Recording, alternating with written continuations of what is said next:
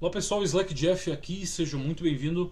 Bom, vamos supor que a gente tem um desejo aí de bloquear sites aí na nossa máquina, tá? Para você mesmo aí não perder tempo com alguns sites é, e outras pessoas, vocês não querem que, que acesse algo do tipo, que é chamado o control parental, né? Eu acho que a galera já ouviu falar. A gente pode fazer isso pelo modem, né? Pelo roteador é, que é algo mais baixo nível, é bem melhor fazer dessa forma, ou pode fazer pela máquina, tá? Então não precisa, você não precisa baixar nenhum arquivo de configuração.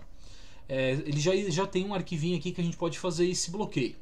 É, vamos supor que eu queira bloquear o Google aqui.com, tá? Eu estou usando o DuckDuckGo, então eu não quero acesso ao Google, tá? Então eu vou ter que entrar como root, vou ter que estar logado como root, como administrador, tá? Super administrador. Eu vou entrar num arquivo hosts, tá? Barra etc barra hosts. E lá embaixo, ó, antes do end of host aqui, pode ser depois também, você que sabe, mas aqui a gente vai botar um endereço, tá? Indisponível, que é o 0.0.0.0, tá? São quatro zeros. E vamos atribuir um domínio aqui. A gente vai botar aqui um domínio que é o google.com, tá? www.google.com. É só vamos ao arquivo. Se a gente agora dar um F5, ó, não vai entrar em vigor ainda. Quando vai entrar em vigor? Tem que reiniciar a internet? Não.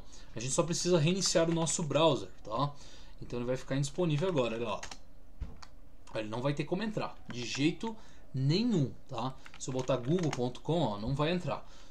Agora eu vou pôr aqui, por exemplo, ó, www.facebook.com, tá? Mesma coisa, vou ter que sair do browser, reiniciar ele, para ele entrar em vigor aqui a configuração. Ó. Também não vai funcionar mais, tá? Ah, Jeff, mas eu posso burlar isso aí, né? Eu posso entrar aqui, por exemplo, o meu links, ó. É, google.com. Olha lá. It's work, tá? Não vai funcionar. Se eu botar agora, por exemplo, só links, vou apertar um G aqui, ó. Tá vendo, ó? Ele vai vir para minha minha rede local aqui, né? Ele tá puxando com 127. Mas ele não vai funcionar de jeito nenhum, também, tá? Ah, Jeff, beleza, vou entrar como Tor ali, tá? é, também não vai funcionar. Deixa eu botar aqui, ó, preference, vou botar aqui proxy, tá? Não tem nada a ver isso aqui, porque tá lá no Rosses, né? Mas é só para vocês tirar o desencargo aí, ó. Deixa eu botar um OK aqui. Vou reiniciar esse negócio. Se o meu Tor aqui tá ativado, tá no 9050, beleza. Eu iniciar o Firefox aqui. Ó, mesma coisa, tá? Então tá funcionando meu Tor ali. IP local, IP geolocal.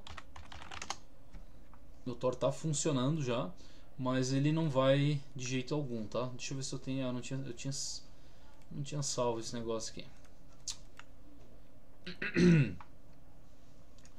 Esse o Tor tá funcionando. Mas o Tor é, é, em cima, né? Não tem nada a ver, é um serviço em cima. É só pra mostrar, tá? Não tem como, não vai funcionar de, de maneira alguma aqui, tá? Ó, lá de Amsterdã, né? Então tá funcionando o Tor bonitinho. É, então não tem como fazer nada aqui, né? Só se o usuário ter a sua senha root, aí ele vai conseguir entrar aqui, tá? E para tirar fora depois é só apagar esses caras aqui, tá? Apagar, salvar o arquivo e já era.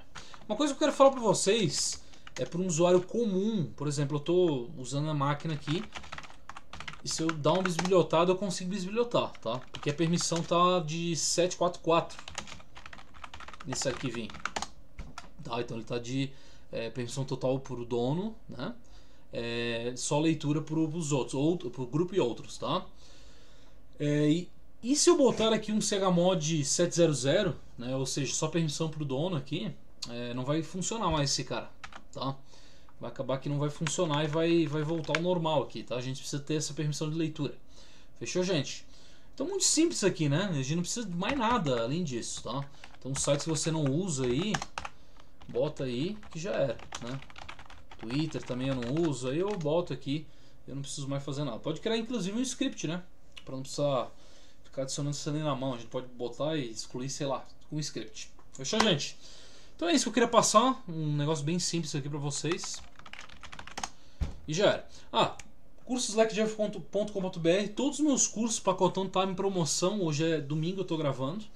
Ele vai estar em promoção até na quarta-feira, tá? Um preço excelente, de 90 reais por apenas 50 reais o pacotão todos os meus cursos, tá? Então dê uma olhada lá se você se interessar. Abração e até o próximo vídeo.